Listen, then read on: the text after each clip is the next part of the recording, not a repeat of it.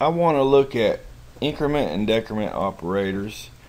Specifically, I want to look at pre-increment and post-increment or pre-decrement and post-decrement and how they work. It took a little bit for me to wrap my head around actually how they work. So when I got got it down, I decided I'd make a video because I'm sure somebody else is having a little hard time wrapping their head around about how these things work.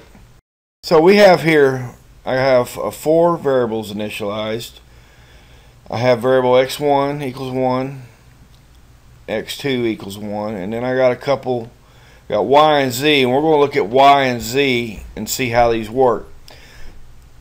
Right now, let's look at, this should show uh, y equals 5 plus x1. Well, x1 is 1, so that's going to be 6. Let's take a look.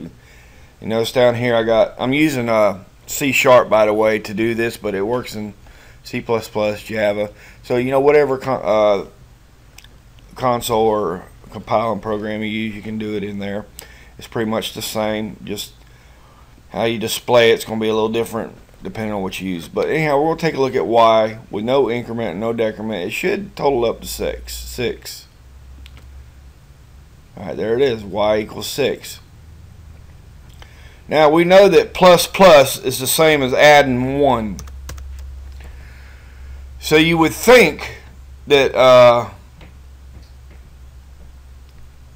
y equals 5 plus x1 which is 1 and plus 1 you would think that would equal 7, but it's going to equal 6. Look at this.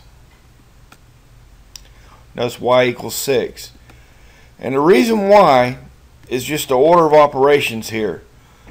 Y come in and gets the total of 5 and the total of x1 and then stops. Once it got to this right here, it just stops. Even though it went ahead, we didn't see it, there was one added to it. It was added after the variable accepted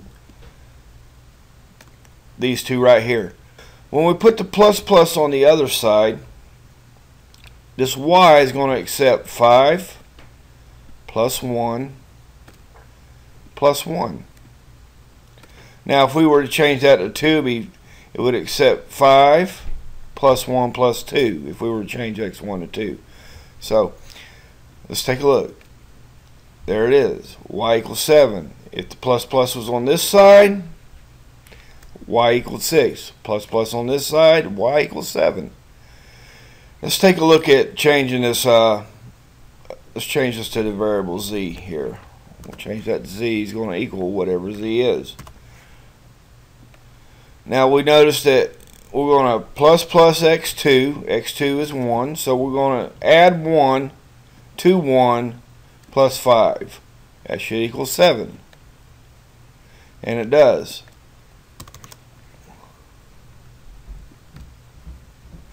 And notice when we stuck it on the other side, even though it added, we didn't see it added to the X2, we noticed that it just took X2, which is 1, plus 5. So in order to get it to go ahead and add, you need to have pre-increment on the left side if you want to display the result with the added 1. If it's on the right side, it's not going to display that result. Let's see how it works with the decrement operator. Let's go back to this one here.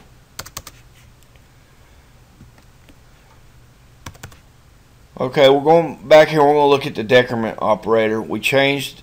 We're going to look at y for this example here. Which so we changed. What's going to display is going to be the results of y. So if we put the uh, decrement operator on the right side of x1, the way it reads when you look at it, looks at 5 plus 1, because x1 is 1, minus 1, because minus minus subtracts the 1. However, because the operation is done at this point, as far as what we're going to read here, what we're going to see is 5 plus 1 equals 6, even though technically it should equal 5. See, we got y equals 6. Move the decrement operator to the other side,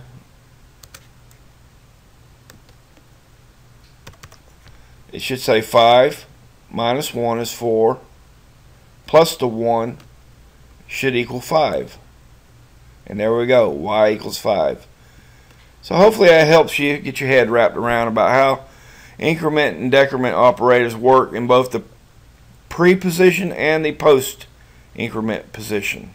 If you want to uh, see some other programming videos, you can visit skeeterz71.com. I also have how to Photoshop, Dreamweaver, Illustrator, and WordPress videos at that site as well.